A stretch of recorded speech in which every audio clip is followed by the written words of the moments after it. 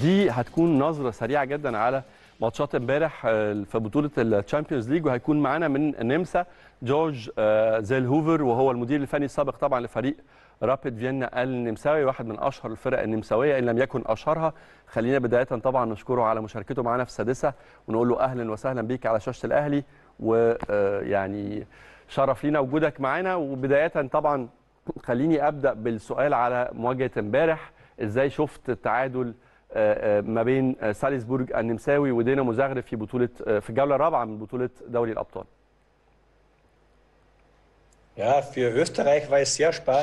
شكرا sehr جزيلا هنا في نمسا كانت مباراة رائعة الفريق النمساوي سالزبورج يلعب بطريقة رائعة وقدم نتائج رائعة جدا أمام تشيلسي وأمام ميلان وأمام دينامو زغرب.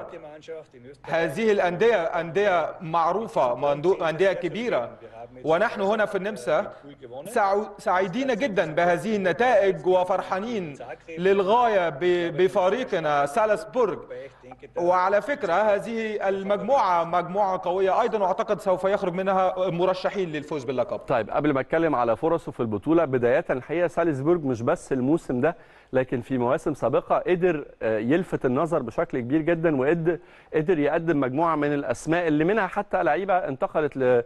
لأكبر الأندية والدوريات في أوروبا إيه السبب تألق ال... السنوات الأخيرة بالنسبة. لسالزبورج إيه هي التركيبة اللي وصلت الفريق للحالة دي إنه يقدر ينافس الكبار في أوروبا.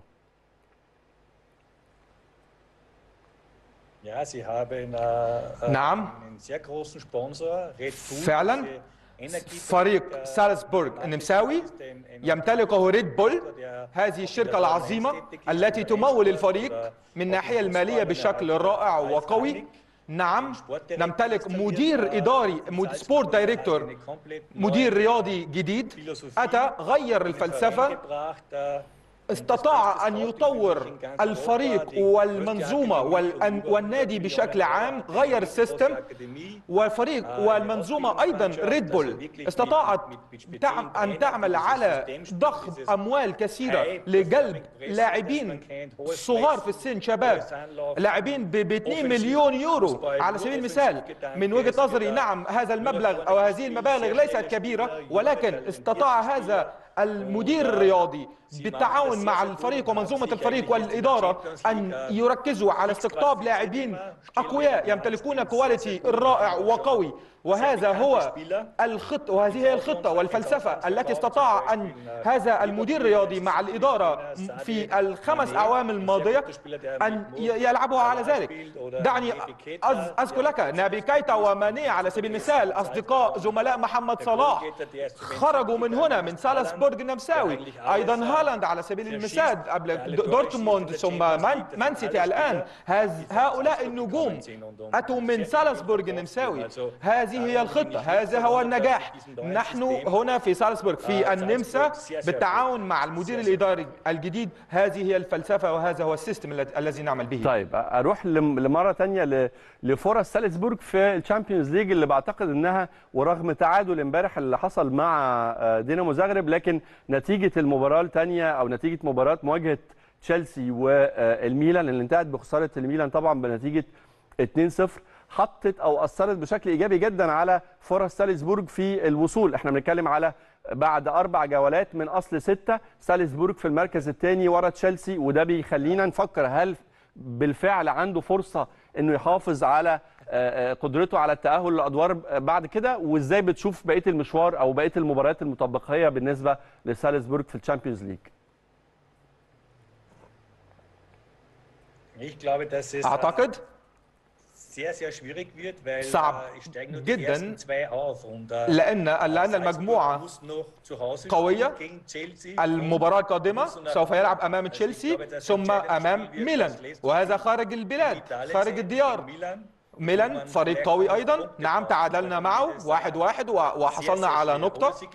فهذه مباراة أيضا صعبة.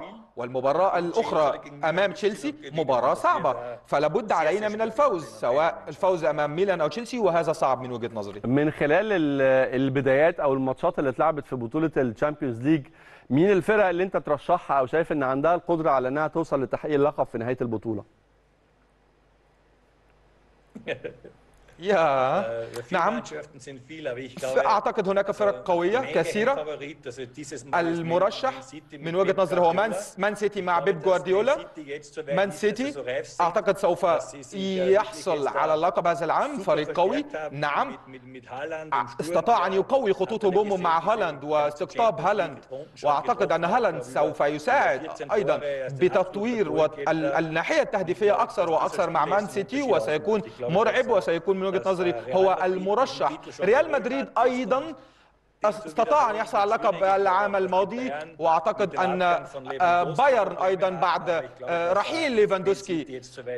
وأيضا ميسي أيضا مع آه، باريس سان جيرمان أعتقد هم المرشحون. طيب هتنقل معاك لنقطة تانية ويمكن الحقيقة من خلال يعني تدريبك لفريق رابid فيينا ومن خلال متابعتك للكرة النمساوية. بالتأكيد تابعت المرحلة اللي تولى فيها المدير الفني السويسري مارسيل كولر آه، مهمة تدريب المنتخب النمساوي. بداية إزاي بت أو بتشوف الم- المرحلة دي وإيه تقييمك لإمكانيات وقدرات مارسيل كولر مع النجاحات طبعا اللي حققها مع منتخب النمسا؟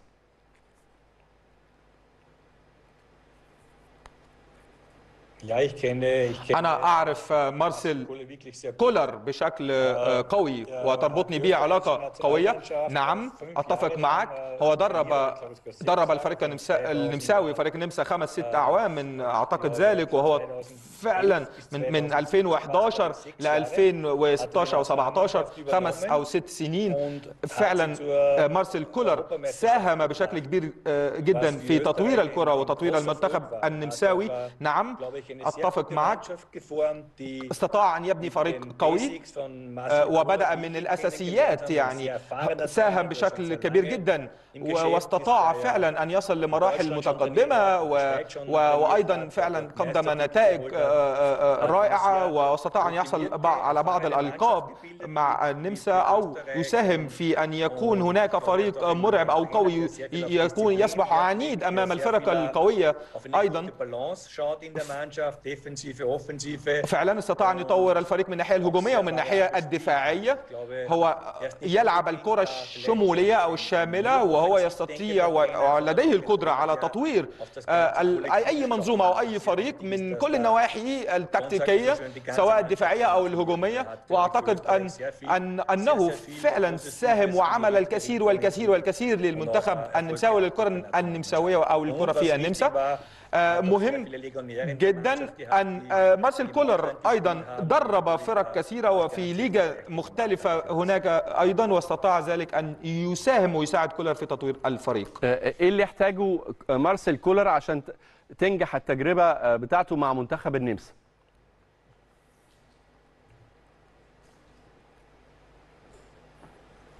Ja, er hat auf der einen Seite, glaube ich, auch ein bisschen, bei uns sagt man so, die Gunst der Stunde gehabt, dass wir اعتقد zu هو äh, ركز في viele على haben. يستقطب لاعبين آه، ألابا على سبيل المثال من ريال مدريد على سبيل المثال وبدأ إنجلاند يتطبع آه، يتتبع اللاعبين المحترفين في الخارج وهذا هو العامل الأساسي الذي ساعد آه، مارسيل كولر أن أن أن أن أن يتتبع äh, اللاعبين fit, لهم ويركز على استقطاب لاعبين أقوياء أصحاب كواليتي رائع يساعدون ويساهمون يساعدونه شخصيا في تطوير آه، أو تنفيذ أفكاره وفلسفته.